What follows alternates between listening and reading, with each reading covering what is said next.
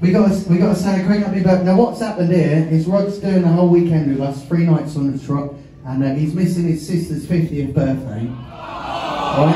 I know, I know. So, so what we're going to do is we're going to say a big personal happy birthday, just to get him out of the shit. Uh, for Fiona, a big happy birthday. Are you ready? Happy birthday to you, Fiona. Happy birthday. Happy birthday, Fiona. Happy birthday to you. Happy birthday, Fiona, from the Cabin in Liverpool.